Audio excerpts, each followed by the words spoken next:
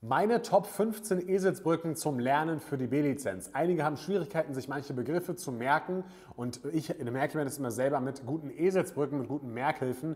Und hier möchte ich dir mal meine Top 15 mit an die Hand geben und das betrifft natürlich hauptsächlich die Themen Anatomie und Physiologie, weil man gerade in diesen Bereichen eben auch ein bisschen ja, auswendig lernen muss oder weil man da einfach ein paar Begriffe kennen muss. Es gibt halt nicht für alles Eselsbrücken, aber für einige Sachen und wenn du diese Sachen schon mal besser merken kannst durch dieses Video, durch den Podcast hier, dann ist es schon mal nicht schlecht. Ja?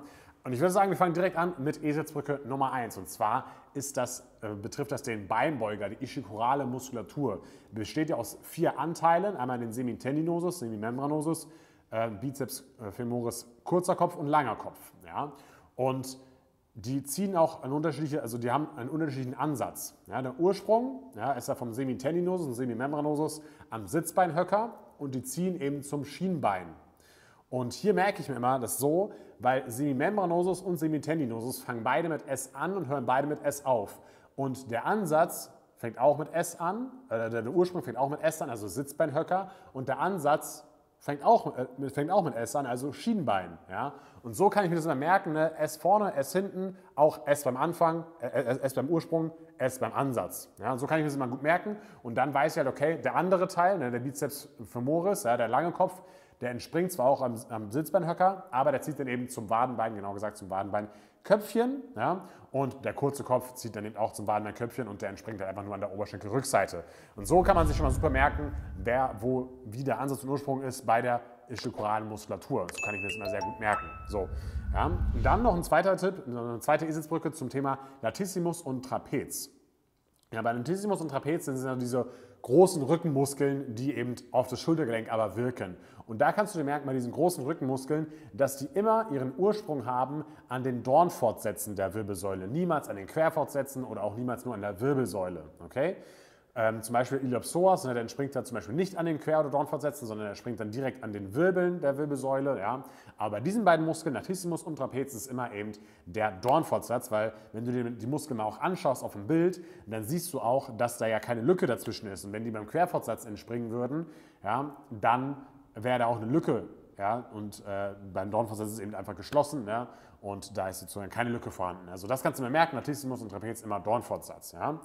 So, dann äh, dritte Eselsbrücke, immer Ansatz und Ursprung vom Bauch, von der Bauchmuskulatur und der Rückenmuskulatur. Also hier meine ich nicht die Rückenmuskulatur, die aufs Schultergelenk wirkt, wie zum Beispiel Trapez oder Latissimus, sondern die autochtone Rückenmuskulatur, die echte Rückenmuskulatur, also Teile des Erector spinae, des Rückenstreckers.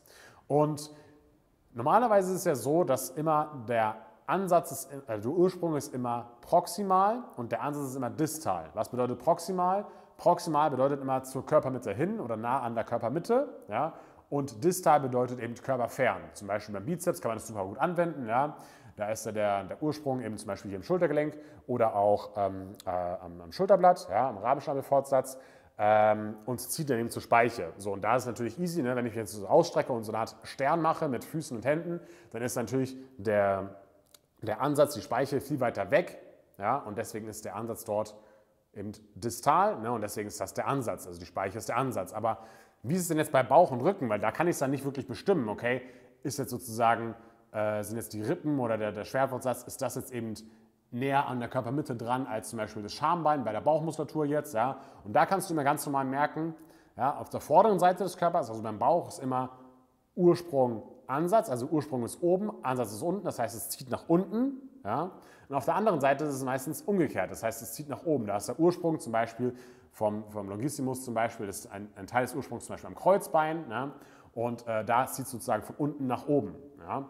Also wenn du vorne drauf schaust, ja, dann ist immer Ursprung oben, Ansatz unten und bei dem Brückenstrecker ist es genau andersrum, Ursprung unten, Ansatz oben. Ja, da kann man eben dieses distale Proximal nicht so gut anwenden, weil ist jetzt die Körpermitte des Gesäß oder die Hüfte oder der Bauch. Ja, ähm, das kann man nie so ganz genau sagen, aber so kannst du es immer gut merken, was hier Ansatz und Ursprung ist. So, dann gibt es noch eine andere Eselsbrücke, Eselsbrücke Nummer 4, und zwar ist es der Ansatz von Bizeps und Trizeps. Äh, wo zieht jetzt der Bizeps hin? Wo zieht jetzt der Trizeps hin? Okay? Und das erste, was man sich ja merken kann, ist auf jeden Fall Bizeps und Trizeps. Das ist ja 2 und 3. Also der Bizeps hat zwei Köpfe, der Trizeps hat drei Köpfe. Ja? Und der Trizeps ist damit sozusagen der größere Muskel ja, mit drei Köpfen. Und der größere Muskel zieht auch zum größeren Knochen im Ellbogengelenk hin. Jetzt wirst du dich fragen, okay, was ist denn eine größere Knochen im Ellbogengelenk, die Elle oder die Speiche?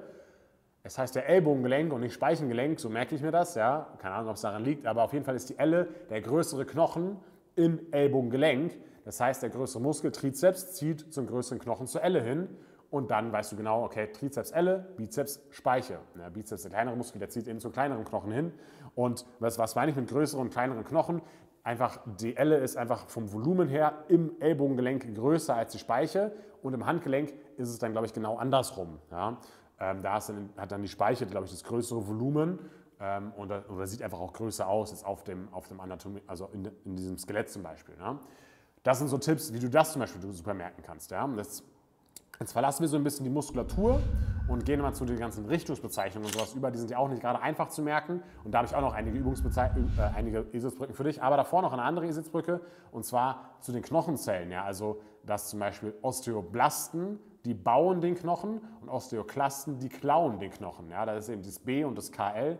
B steht für bauen, KL steht für klauen. Das äh, hängt sozusagen damit zusammen, also wenn es zum Beispiel ums Krankheitsbild Osteoporose geht, da kommt es bei uns in der Medizin zum Beispiel vor, welche, Knochen, welche Knochenzellen eher Knochensubstanz aufbauen oder welche dann eben Knochensubstanz abbauen. Ja. Und da gibt es eben diese Osteoblasten, Osteoklasten.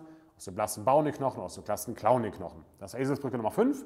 Und jetzt kommen wir zu den ganzen Richtungsbezeichnungen. Und zwar kranial. Ja. Kranial heißt ja auch zum Kopf hin. Okay? Und kranial klingt ähnlich wie das Wort Kran. Und deswegen und ein Kran ist natürlich auch immer oben. Ja? Ein Kran geht dann in die Luft nach oben. Ja? Und kranial bedeutet also auch immer zum Kopf hin, also zum, auch wieder nach oben. Ja? So merke ich mir das immer mit dem Kranial. Ja? Und kaudal ist eben einfach das Gleiche. Ne? Das heißt dann einfach eher nach unten sozusagen, beziehungsweise ähm, vom Rumpf ausgehend nach unten. Ja? Zum, zum Rumpf hin, zu den, zu den unteren Extremitäten hin. Genau. Dann einmal lateral. Lateral ähm, bedeutet einfach von der Medianebene, von der Körpermittelebene weg, also nach außen. Ne? Und ähm, hier kannst du dir das so merken, ja, dass, dass zum Beispiel äh, die Torlatte beim Sport ja, oder auch der Latissimus dorsi, die befinden sich alle immer außen. Ja, und äh, die liegen also von der Mitte entfernt. Ja, also Mitte ist halt medial, ja, das ist immer die Mitte, das kann man sich sehr einfach merken. Und lateral ist eben immer außen. Also der Latissimus zum Beispiel ist ja auch eher ein, ein Muskel, der weiter außen liegt, zum Beispiel als die autochtone Rückenmuskulatur. Ja? Und deswegen kannst du dir mal merken, okay, laterale bedeutet einfach weiter außen gelegen, beziehungsweise von der Medianebene weg nach außen. Ja? Dann medial habe ich gerade schon angesprochen, ne, zu, zur Medianebene oder zur Körpermittelebene hin. Ne? Und das ist einfach ähm, ja, Medium, ne, Mitte, das ist sehr, sehr naheliegend, ja, ähm, dass das eben medial heißt, also zur Mitte hin oder zur Körpermittelebene hin. Dann Eselsbrücke Nummer 9 ist plantar, das heißt zur Fußsohle hin. Ja? Und das merke ich mir so, und zwar plantar klingt ähnlich wie Plants. Ja? Und Plants, die wachsen einfach am Boden. Ja? Und auch die Fußsohle befindet sich am Boden, wenn man zum Beispiel geht. Ja? Und deswegen ist hier die Eselsbrücke, okay, Plants sitzen am Boden, Fußsohle ist auch am Boden, plantar zu Fuß, zur Fußsohle hin. Ja, so kann man sich das merken. Eselsbrücke Nummer 10, distal, haben wir vorhin schon gehabt, das heißt eben vom Rumpf weg. In manchen Fällen heißt es eben auch vorne. Und ähm, distal hat denselben Körperstamm wie das Wort Distanz. Ja? Und das sagt ja auch eben, es ist weiter weg, es ist entfernt, es ist eben nicht nah, sondern es ist distanziert oder es ist halt einfach, es ist eine bestimmte Distanz dazwischen. Ne? Und äh, deswegen kann man sich das auch gut merken, distal, Distanz ist weiter weg. Ja? Dann elftens, radial heißt zur Speiche hin. Radial hat dasselbe, denselben Wortstamm wie das Wort Fahrrad oder Rad. Ja? Und ein Fahrrad hat natürlich Speichen, ja? also ist Radius oder radial heißt eben zu speichern und Radius ist eben ähm, die Speiche. Ja? so kann man sich das super merken. Dann damit ist es Begriff Nummer 12, die Abduktion, das Wegführen der Extremitäten vom Körper. Ja?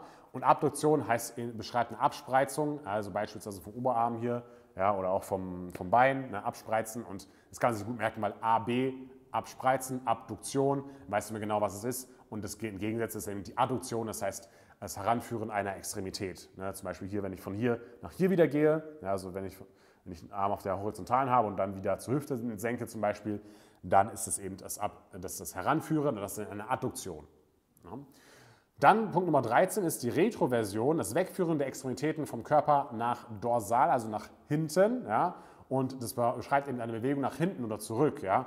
Und so Gegenstände oder Klamotten, die so eher retro sind ja, und aus den Jahren gekommen sind. Ja, die liegen, das sind eben Jahre, die hinter einem liegen oder die zurückliegen. Und so kannst du dir zum Beispiel Dorsal auch merken. Ja. Ähm, äh, nicht, nicht Dorsal, sondern Retro-Version. Ne? Retro ist eben was, was, was weiter, was oldschool ist, was weiter zurückgelegen ist, also zurückführen der Extremität ja, oder wegführen Extremitäten vom Körper nach Dorsal, nach hinten. Ja. Dann 14 Supination, verdrehen nach außen, also zum Beispiel so. Ja, das ist die Supination, also wenn meine Handfläche zuerst unten ist und dann oben ist, dann ist das eine Supination.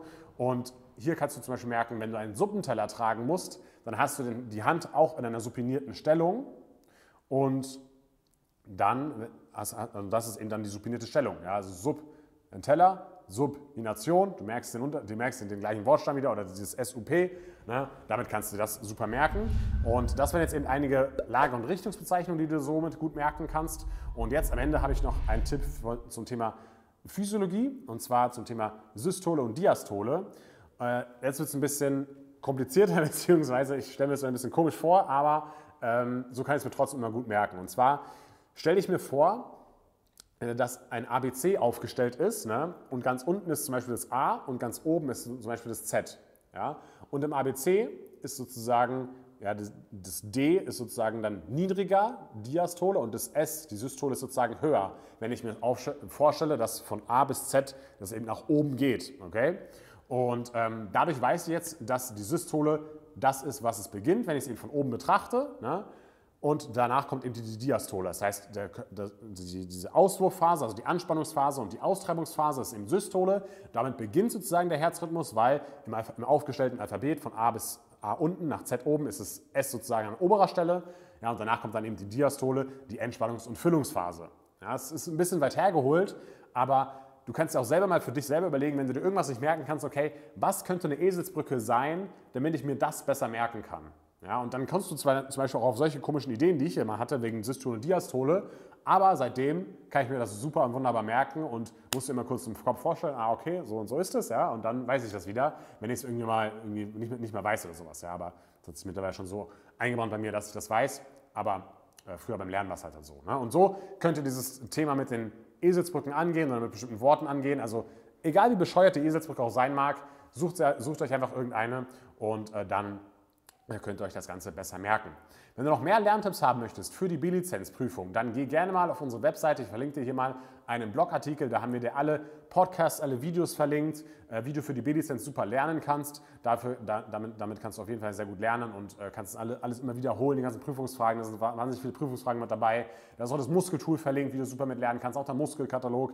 All das ist da verlinkt. Check das gerne mal aus und wir hören und sehen uns beim nächsten Mal wieder. Bis dann, dein Tipi und ciao.